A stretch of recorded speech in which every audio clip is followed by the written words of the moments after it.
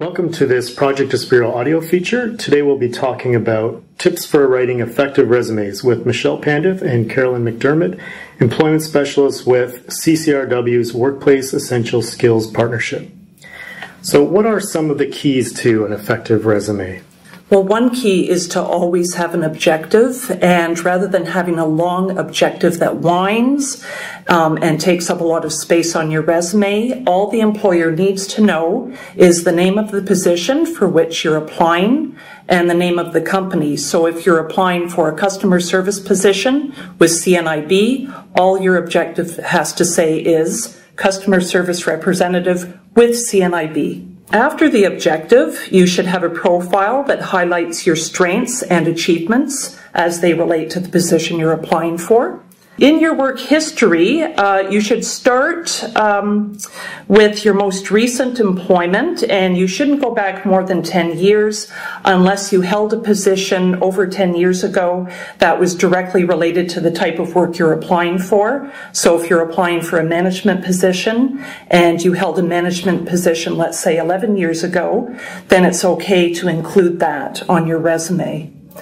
For each work entry, name your job title first and then the name of the company that you worked for. Uh, generally speaking, most employers are more interested in knowing the type of work that you performed um, rather than where you performed it.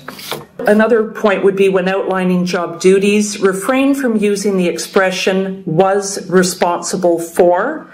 Um, everybody is responsible for a number of duties when they're employed, but this doesn't necessarily mean that they carried them out.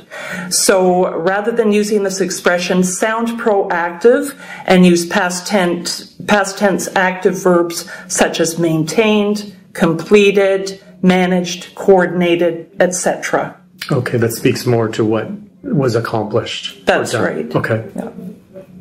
And a very important point, the last point I'd like to make is always have someone with strong writing skills proofread your resume and cover letter. Because if the employer receives a multitude of submissions in response to a single position, they will use every strategy uh, available to them uh, to put you out of the running, so to speak. So if you want to stay in the running, make sure there are no errors on your documents. Okay, great. That's some great advice. Um, and just another additional tip it's always important to remember that the job posting is your guide to how to write your resume. So you want to customize each resume to that po- uh, job posting and make sure you're a good match. Uh, and try to focus more on your accomplishments rather than just simply your duties. Okay, great. That's great. So we talked about some sort of keys to effective resumes. What about the style or format of, of resumes? Is there one that's preferred? Yes, actually, there is. Um, there are three major styles of resumes. So you have the chronological, the the functional, and the mixed or combination resume.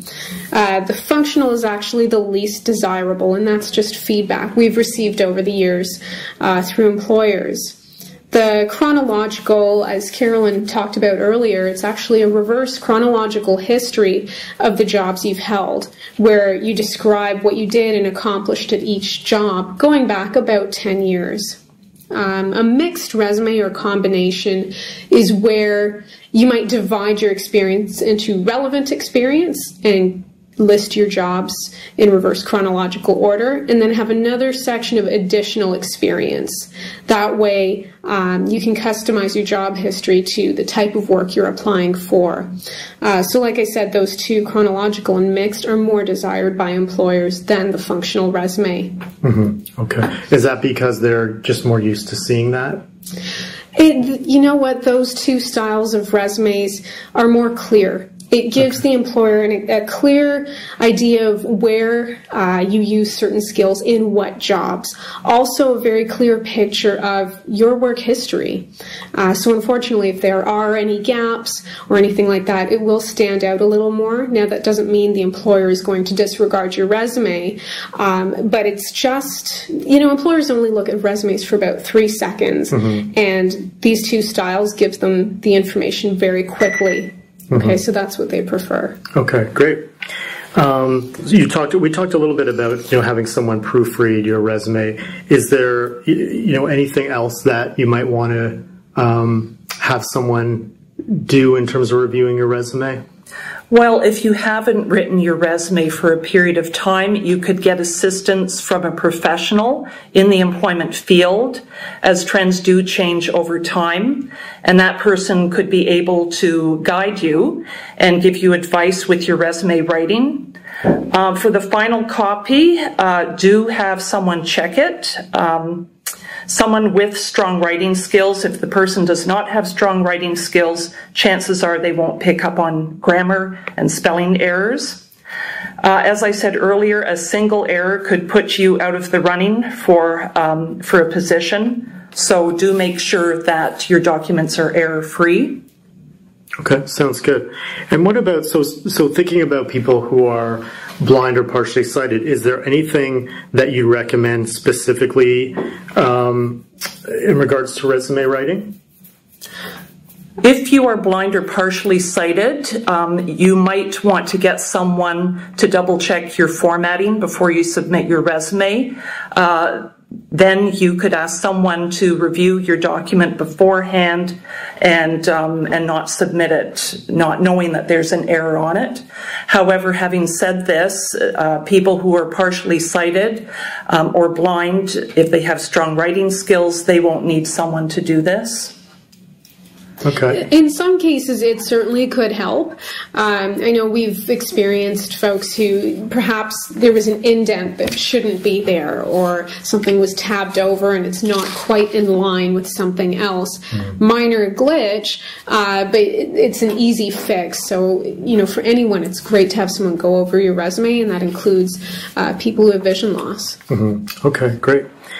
And so, sort of on that note, do you recommend uh, to clients you work with who, with vision loss or, or, or, another disability, do you recommend that they disclose that um, in a resume?